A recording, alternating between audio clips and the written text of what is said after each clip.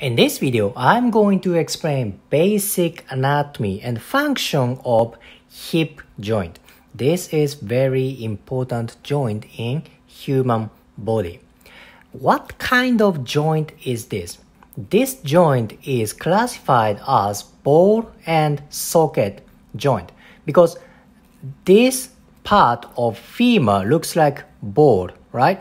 This is head of femur. This is ball. And this part of pelvis is very concave surface like this. This is pelvic side. And this is head of femur. They fit like this. So this is classified of ball and socket joint. Okay. That's why hip can move three dimensionally. This can have many uh, movement for many directions. Okay. Ball and socket joint. Again, this is head of femur.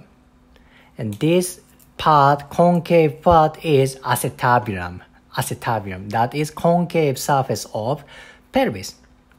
Femur and pelvis.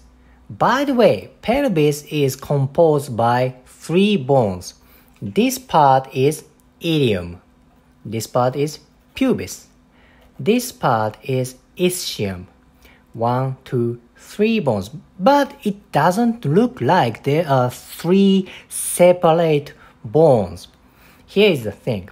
When you are born, when you are baby, pelvis is not ossified yet.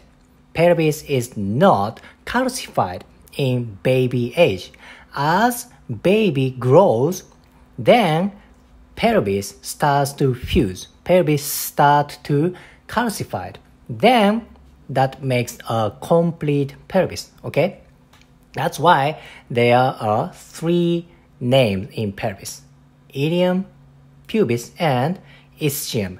This hip joint, this part is made by three parts: ilium, pubis, and ischium. Okay, this is very important thing. Pelvis, femur, head of femur, and acetabulum. There is very similar joint in human body that is also ball and socket joint. What is it? Can you guess? That is shoulder joint. See this part, this part is head of humerus and this concave surface is glenoid fossa. Glenoid means scapula, okay? Head of humerus glenoid fossa. So it's like a ball and socket joint. See? But if you think about it, pelvic side is very, very deep. You know, acetabulum is very deep. Glenoid fossa is not very deep. See? Let's say this is acetabulum and this is head of femur. It's very deep. However, shoulder joint, glenoid fossa, head of humerus is like this. Which one has more stability and which one has more movement? Hip joint has more stability because it's very, very deep. Shoulder joint has more mo mobility compared to hip joint.